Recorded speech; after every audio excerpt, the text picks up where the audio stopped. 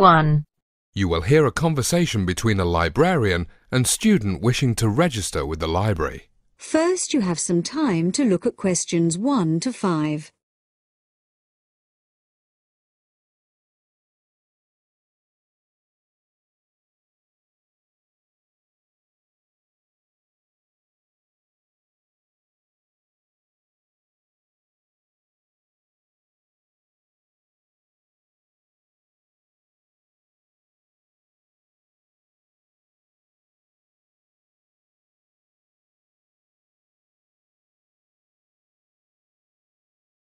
Hi, are you here for a library card? Yes, what do I need to do? I need to see proof of identity and proof of residence. You can use a driver's license, a passport, a utility contract with your name and address on, or a tenancy agreement. Do you have any of those with you today? I have my passport and a copy of my landlord's lease agreement. Will they do? Let me see. You need to fill out this form whilst I check your ID. It says here that I need a personal identification number to access my account. You can choose your own PIN. Make it a four digit number, but not consecutive numbers like 1234, and you can't repeat a digit. I'd like to take out some books today. Will that be possible? Once I've given you a valid library card and your PIN's been accepted, Do I need to sign anywhere? sign the bottom of the form and also the back of the card once I've finished with it. Have you included your email address? We need this to notify you on your reserves and overdue items. We also email a monthly newsletter that includes details of new titles. Can I access my account online? That's right, just log in with your library card number, shown beneath the barcode, and enter your PIN. What happens if I lose my card? We'll cancel your old card and issue you with a replacement for a fee of $1. The first card is free. You'll also need a new PIN. We don't email it, so you'll have to come in so we can reset it. OK, thanks. Am I ready to start checking out materials now? Yes, you can access the library catalogue and your account right away. Here's a brochure telling you more about the library's lending policies and rules, as well as opening times, and there's information about late fees and lost items. Before you hear the rest of the talk, you have some time to look at questions 6 to 10.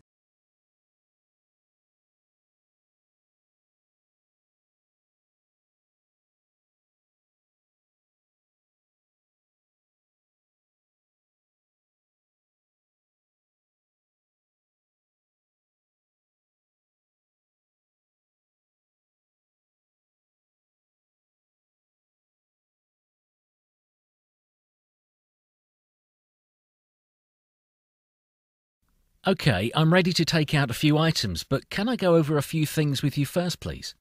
What would you like to know? Is there a limit on the number of items I can check out? You can have 50 items out at any one time, including a maximum of 10 DVDs and 5 CDs. Wow, that's quite a lot. What about how long I can take things out for? Books, for example. The loan period is three weeks for books, unless they're new titles, in which case it's two weeks. Magazines can be loaned for 10 days, DVDs for 7 days. And are CDs one week, the same as DVDs? That's correct. What about renewals? How do I go about renewing items? You can renew items in several ways, either online by accessing your library account or in person. You can also use our automated telephone renewal service or you can call the checkout desk. And how many items can I renew? You can renew 10 items 4 days into their loan period. I'm going to be working on a research project. I might need to reserve items that are currently out on loan. How do I go about doing this? It's through your library account. We'll email you once the items are available. You then have 5 days to pick them up before they go back into general circulation. And can I just go on the computers when I come in, or do I need to book a slot? Yes, I'm glad you asked me that. We have wireless laptops for in library use that can be borrowed for up to one hour. It's first come, first served, so you cannot reserve these. Alternatively, you can bring in your own laptop and log into the library's homepage using your library card number and PIN. OK, that's great. Thanks for your help. That is the end of part one. You now have half a minute to check your answers.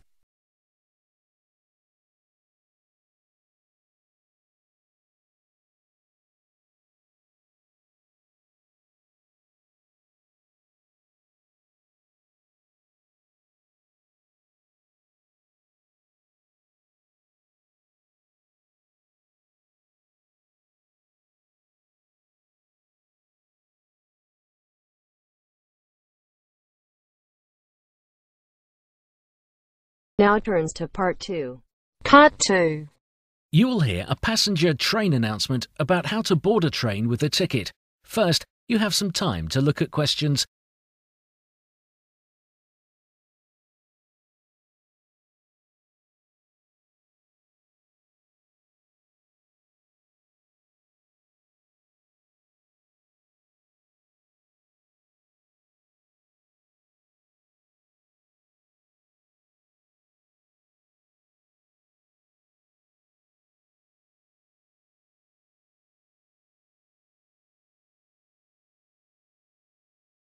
Good afternoon, rail passengers.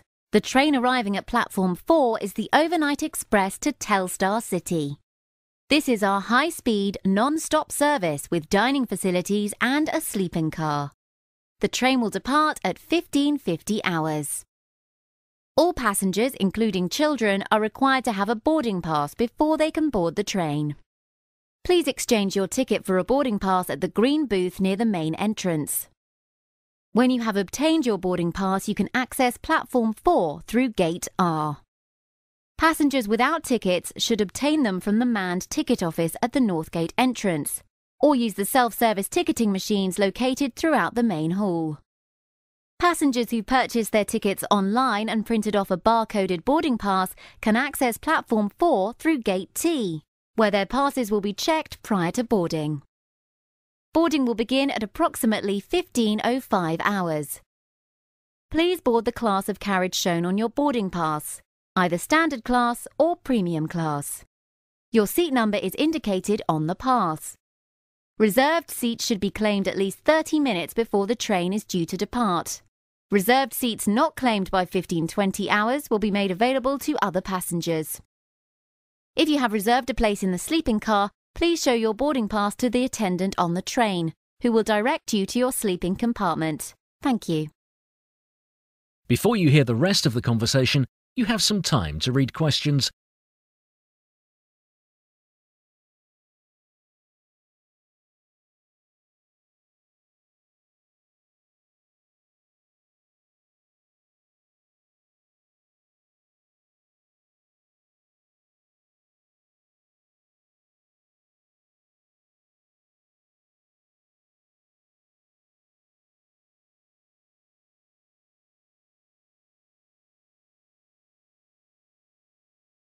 Welcome aboard the overnight express service to Telstar City. Meals are now being served on the train. Passengers travelling in standard class can have a light meal in the dining car, located in the middle of the train, or bring their food back to their seats. A limited selection of meals is available from around €5 euros. Passengers travelling in premium class can have their complimentary three course dinner and drinks served in the dining car or at their seat by the waiter a full selection of meals is offered.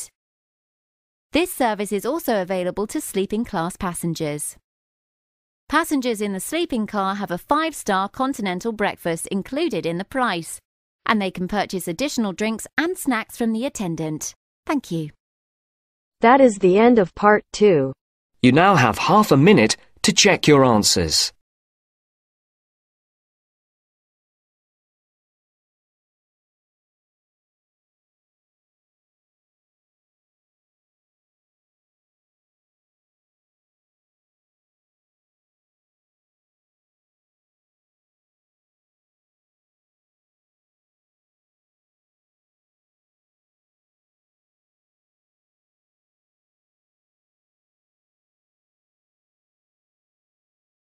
Now turns to part 3. Part 3. You will hear an interview with a soil scientist about home composting. First, you have some time to look at questions 21 to 25.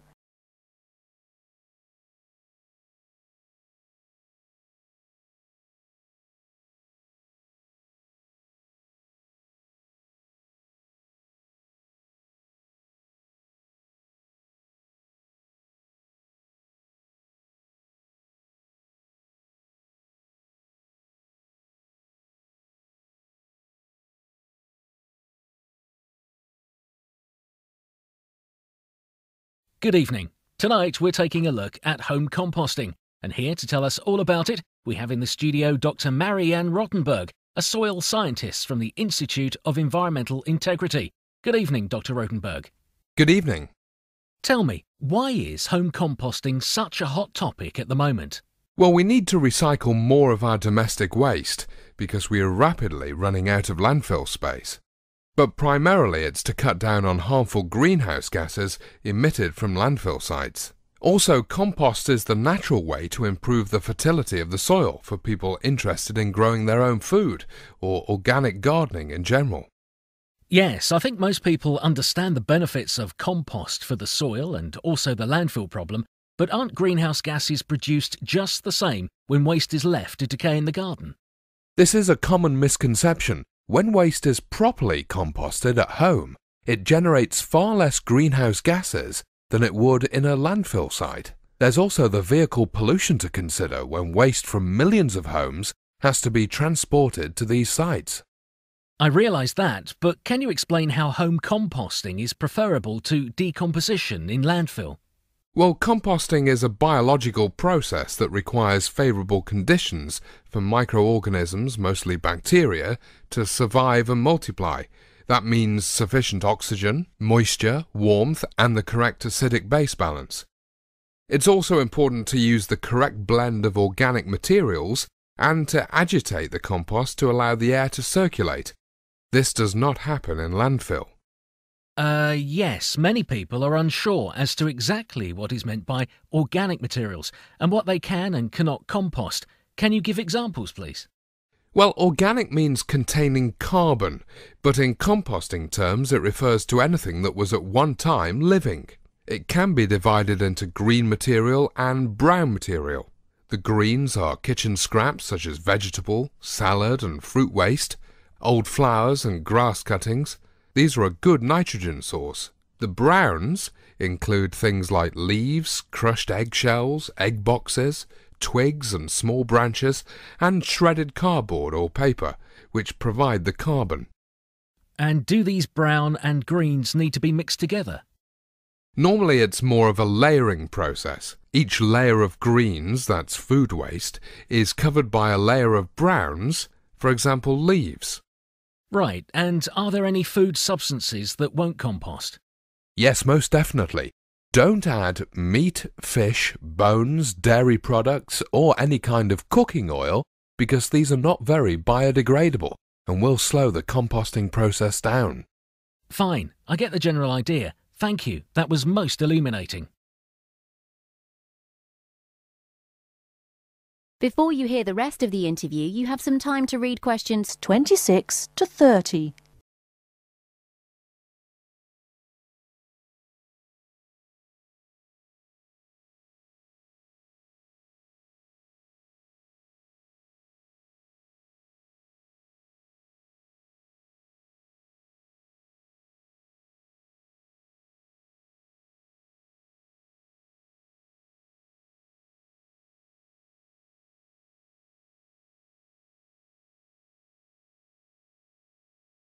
One of our listeners would like to know more about the practical aspects of home composting. Can you say more about this, please? Yes, certainly. There's more than one method of composting, but a popular way is to use a ready-built wooden frame or a plastic composting bin, made from recycled plastic, of course. It can be sited anywhere in the garden or placed near to the house for convenience if you wish. Ideally, it should have a trapdoor at the bottom to access the finished compost. The process takes about six to nine months. That's quite long, isn't it? Yes, so it's often a good idea to have two composters, with one full that can continue the process whilst you start the other bin. And the one thing, it's best to keep the kitchen scraps in a small plastic container with a sealed lid. An old ice cream carton is suitable. And how about the garden waste? Is that kept outside in another container? Yes, but it doesn't need to be a container with a lid. Nothing sophisticated. Any enclosure in the garden will do. Just somewhere to keep leaves, really. Start with a layer of these at the bottom, and then add a layer of kitchen scraps on a daily basis, topped off with another layer of leaves and twigs, and so on, in roughly equal measures. Now, I know some people have concerns about attracting rodents and family pets. Is this really a problem? Well, it can be, but it's less so if your bin has a lid or the kitchen scraps are well covered with leaves and twigs. And what if there are not enough leaves in your garden? Crunched up newspaper and shredded card can provide an alternative source of carbon, and they also increase the aeration of the compost. Well, thank you once again, Doctor. That is the end of part 3. You now have half a minute to check your answers.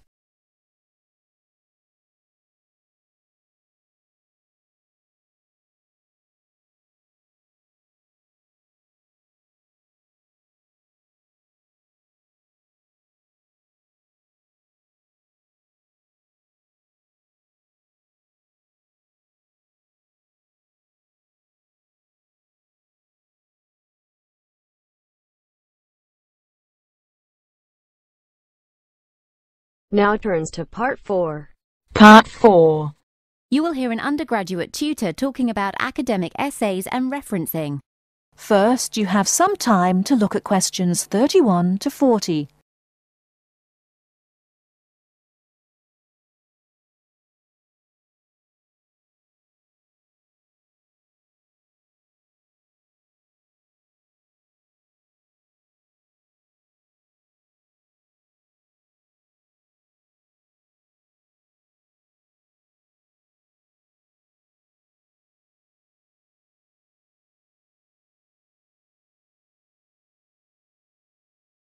Good morning. I'm Dr. Mike Roberts, one of the Institute's undergraduate tutors.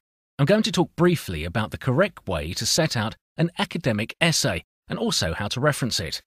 More details on submitting your essay and how to reference academic work generally, including research papers, can be found in the College Handbook. That's the Red Book. You should all have a copy. These guidelines, or rules really, must be adhered to if you want to avoid losing marks. 5% of the total mark is available for correct referencing, which could mean the difference between a pass and a fail. OK, let's start with the page setup. The margins should be 1 inch, each side with 1 and a quarter inches at the top and bottom. Now, these are automatically chosen to suit the printer, so there's no need to alter the normal template. The text must be double spaced to enable the tutor to add comments either above or below the text and also to facilitate reading. Choose a 12 point Times New Roman font for your essay. It must be typed and justified. Nothing is to be handwritten. OK? Don't indent the paragraphs and don't add additional blank lines between the paragraphs. It makes the essay look longer than it really is, but this will not fool the examiner. Now, your essay will be marked and assessed anonymously to avoid any discrimination so make sure your candidate number appears in the right-hand corner of every page in the top margin, the header. But your name must not appear anywhere on the final essay. Right, any questions so far? All this is in your handbook, by the way. I'll just mention the word count. To avoid being penalised, don't exceed the word count by more than 10%. So a 3,000 word essay shouldn't overrun by more than 300 words. Or, to put it another way, a 3,000 word essay should not be any longer than 3,300 words. If you write any more words than this, the examiner will not be obliged to read them. Don't write anything less than 3,000 words though, okay? Right, I'd like to move on to referencing. Well, why do we need to do it? Does anybody know? Firstly, citing references in an essay lends support to your own idea and arguments, it's important to substantiate them. Secondly, in academic research, correct referencing enables other researchers to locate the source of the material so that they can study it and check it. Finally, by acknowledging who wrote the work, you cannot be accused of taking another author's ideas as being your own, which is plagiarism. Now, some people might argue that there are no original ideas out there, that whatever you write, somebody else will already have written, in which case you would end up having to reference all your written work. This is not true. You do not have to reference facts that are well established and in the public domain. So, for example, you can safely state that Sigmund Freud was the founder of psychiatry without having to reference it because it's a widely accepted fact. But what you cannot do is state that Freud was the first person to study the dreams of childhood without quoting the relevant text. OK, I hope I've made that clear enough. We use the Harvard system of referencing here. It's an author date system. So in the body of the essay, you would write in parenthesis the author's surname without the first name, followed by a comma, followed by the date of the source. For example, Freud was the first person to study childhood dreams, open brackets. Freud, comma, 1906, close brackets. Okay? When compiling your reference list, it should be placed in alphabetical order with the author's surname, initial, followed by the year of publication in brackets, then the title, which should be underlined, and finally the city where the book was published along with the publisher's name. For example, Freud, S. 1920, A General Introduction to Psychoanalysis, New York, Boni, and Liveright. Okay, that's it. Please refer to your Red Book for more details. That is the end of part 4. You now have half a minute to check your answers.